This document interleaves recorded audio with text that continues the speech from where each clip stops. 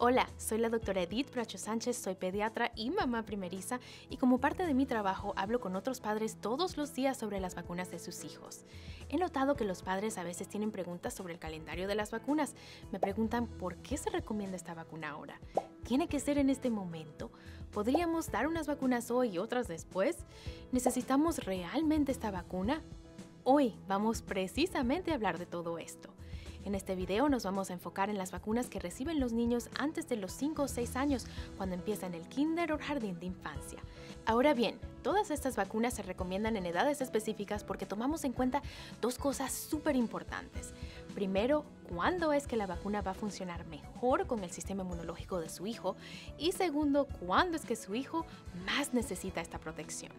Permítanme que les explique cómo funciona todo esto y vamos a usar el sarampión como ejemplo. Sabemos que los bebés obtienen algunos anticuerpos contra el sarampión de sus madres durante el embarazo, siempre que su madre se haya vacunado contra el sarampión. Pero este regalo de mamá comienza a desaparecer alrededor de los 12 meses de edad. Esto significa que la ventana de oportunidad perfecta para la vacuna del sarampión es poco después de que los bebés cumplan un año antes del año, los anticuerpos de la madre, en realidad, hacen que la vacuna no funcione tan bien. Pero si usted se pone a esperar, está dejando a su hijo vulnerable al sarampión, lo cual es muy peligroso para los niños pequeños. Es por esto entonces que la administración de la vacuna cuando los niños tienen entre un año y un año y medio es realmente el punto óptimo. El sistema inmunológico de su hijo está preparado y necesita la protección que la vacuna le ayudará a desarrollar. Además de esto, usted puede estar tranquilo sabiendo que todas las investigaciones muestran que la vacuna es súper eficaz cuando se administra a estas edades. Tenemos los datos y años de experiencia que nos dicen esto. Y para los que todavía no se han entusiasmado, la vacuna que utilizamos para proteger contra el sarampión también protege contra las paperas y la rubiola. Esta vacuna se llama MMR por sus siglas en inglés y su hijo recibirá una segunda dosis a partir de los 4 años. La segunda dosis actúa como un recordatorio para el sistema inmunológico de su hijo. Esta es solo una de las vacunas que se recomiendan para los niños. Los Centros para el Control y la Prevención de Enfermedades, o el CDC por sus siglas en inglés, así como la American Academy of Pediatrics y otros grupos médicos, han creado juntos un calendario de vacunación para los niños basados en la ciencia de cuándo las vacunas funcionan mejor y cuándo los niños más necesitan esa protección. Mi trabajo como pediatra es hacer un seguimiento de las vacunas de mis pacientes para que estén protegidos en el momento adecuado. La mayoría de estas vacunas se recomiendan durante el primer año y medio de la vida del bebé por las dos razones que discutimos anteriormente. El sistema inmunológico de los niños responde muy bien a las vacunas en estas edades, por lo que podemos ayudar a nuestros hijos a desarrollar una inmunidad de por vida y porque sin la protección de las vacunas, los niños pequeños quedarían vulnerables a contraer enfermedades realmente graves.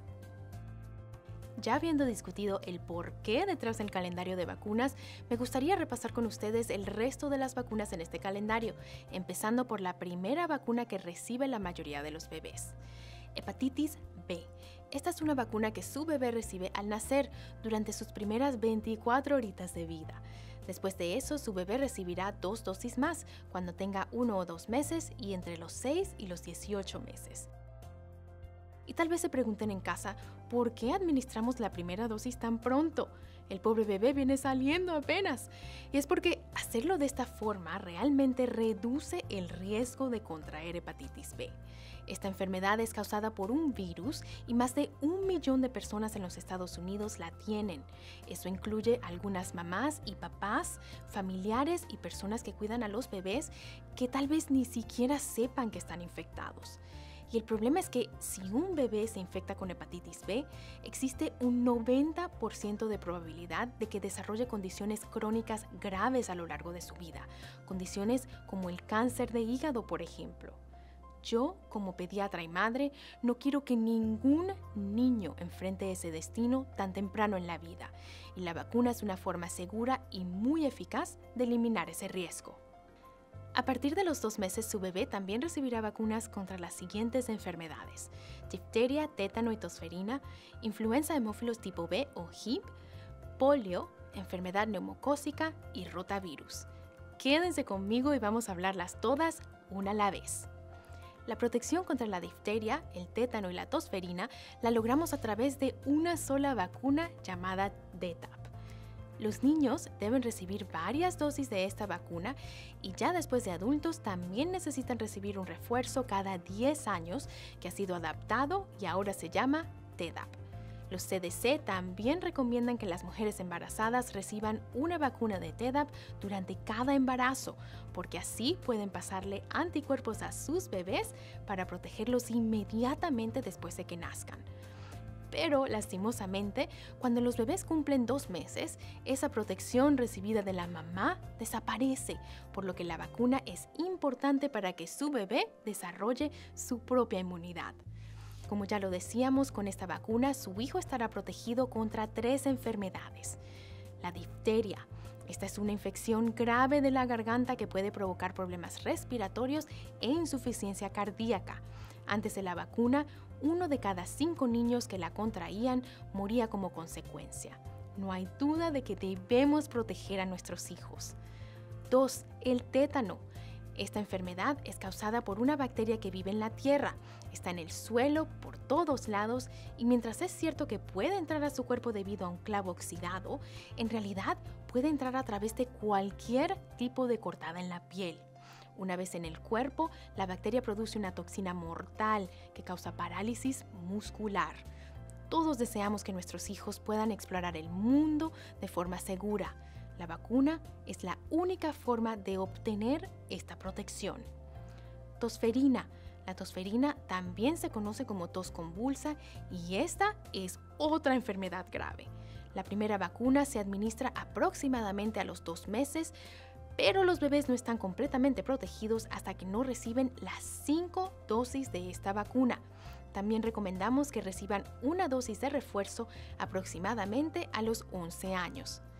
Los bebés que contraen tosferina sufren ataques de tos realmente violentos que hacen que les cueste respirar y pueden terminar en el hospital y hasta fallecer. Trágicamente, suele ocurrir que un ser querido adulto es quien se la transmite a un bebé, a veces sin darse cuenta que su propia tos era tosferina. Yo, educadamente, le pedí a mis familiares que se pusieran la vacuna TEDAP para poder conocer a mi bebé. Esto lo ha mantenido seguro mientras crece lo suficiente para poder recibir las cinco dosis. Ya habiendo hablado de estas tres enfermedades contra las cuales usted puede proteger a su hijo con una sola vacuna, hablemos ahora de la influenza hemófilos tipo B o HIP. Las infecciones por HIP provocan una variedad de enfermedades, desde infecciones de oído hasta neumonía y meningitis. Estas infecciones pueden ser mortales y si su bebé muestra síntomas de alguna de estas enfermedades sin haber sido vacunado, es probable que los médicos necesiten hacer una punción lumbar para ver si tiene esta bacteria. Recibir la vacuna no solo protege a su bebé, también es una forma de evitar los procedimientos invasivos. Su hijo recibirá cuatro dosis para estar protegido completamente. La siguiente enfermedad que podemos prevenir a través de una vacuna es el polio.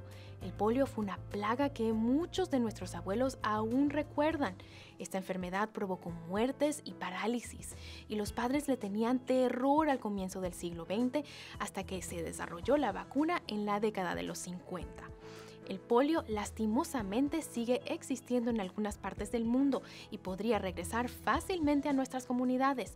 Por eso recomendamos muchísimo la vacuna. Su hijo recibirá cuatro dosis antes de comenzar la escuela. Hablemos ahora de otra gran victoria para la salud de los niños. Se trata de la vacuna antineumocócica. La enfermedad neumocócica es causada por una bacteria llamada Streptococcus pneumoniae. Cuando estas bacterias invaden los pulmones, causan neumonía. Cuando invaden el torrente sanguíneo, pueden causar sepsis. Cuando invaden el cerebro, causan meningitis. También pueden causar infecciones de oído, que la mayoría de los padres saben que pueden ser dolorosas y frecuentes. Lo bonito es que desde que se introdujo esta vacuna, la cantidad de niños que padecen todas estas enfermedades se ha disminuido drásticamente se necesitan cuatro dosis de la vacuna antineumocócica. La siguiente vacuna es la del rotavirus. El rotavirus era la principal causa de diarrea en los niños en los Estados Unidos antes de desarrollarse la vacuna y todavía lo es en ciertas partes del mundo. Este virus causa diarrea intensa, vómito, fiebre y dolor abdominal, y los niños pueden deshidratarse tanto que necesitan ser hospitalizados. El virus se propaga muy pero muy fácilmente a través de las manos, de los pañales o juguetes sucios y también a través del aire. Lavarse las manos una y otra vez sencillamente no es suficiente para mantener a este virus alejado de su bebé, por lo que necesita la vacuna. Su bebé recibirá dos o tres dosis de esta vacuna a los 2, 4 y 6 meses. Cuando su bebé cumpla los seis meses, también puede protegerlo contra la influenza. La primera vez que su hijo reciba la vacuna contra la influenza o el flu, también necesitará una segunda dosis cuatro semanas después. El virus de la influenza es un virus complicado e incluso los niños sanos pueden desarrollar complicaciones graves que los envían al hospital. La vacuna nos ayuda a prevenir la enfermedad y sus complicaciones, por lo que recomendamos que todos en casa la reciban cada año a partir de los seis meses. A los 12 meses, cuando celebra el primer año de su bebé, lo puede proteger contra dos enfermedades más. La primera es la varicela. Antes de que tuviéramos esta vacuna en los Estados Unidos, alrededor de 4 millones de personas se enfermaban de varicela cada año. Más de 10.000 eran hospitalizadas y más de 100 morían. Aún sin llegar a esto, un caso leve puede hacer que un niño pierda una semana o más de escuela. Después de la primera dosis al año, su hijo necesita una segunda dosis entre los 4 y los 6 años. También a los 12 meses, su bebé puede recibir su primera dosis de la vacuna contra la hepatitis A. La hepatitis A es una enfermedad grave del hígado que puede diseminarse por los alimentos o por contacto con una persona infectada, inclusive alguien que no presente ningún síntoma. La vacuna es una forma segura y eficaz de dar protección a su hijo a lo largo de su vida. La segunda dosis le toca seis meses después de la primera. Sé que hemos cubierto muchísima información y es difícil recordarlo todo. Esto es lo que me gustaría que tenga en mente. 1. Las vacunas trabajan mano a mano con el sistema inmunológico de los niños. Las vacunas le enseñan al sistema inmunológico cómo distinguir a un virus o a una bacteria para que su niño pueda desarrollar su propia inmunidad y así estar protegido. 2. De todas las edades, los bebés son los más hospitalizados y los que mueren con más frecuencia a raíz de enfermedades que pudimos prevenir con vacunas. Es por esto que queremos vacunarlos lo antes posible. 3. Las vacunas evitan que los niños necesiten procedimientos médicos invasivos o que sean hospitalizados. Son la mejor estrategia para mantener a los niños lejos de los hospitales. Y 4. Décadas de investigación y observación en millones de niños han demostrado que las vacunas actúan mejor en las edades que discutimos hoy y con el tiempo que hablamos entre cada dosis. Y sabemos además que es seguro darlas de esta forma. Finalmente, si tiene preguntas, hable con su pediatra. Estamos aquí para apoyarlo y ayudarlo a que sus hijos crezcan sanos y fuertes.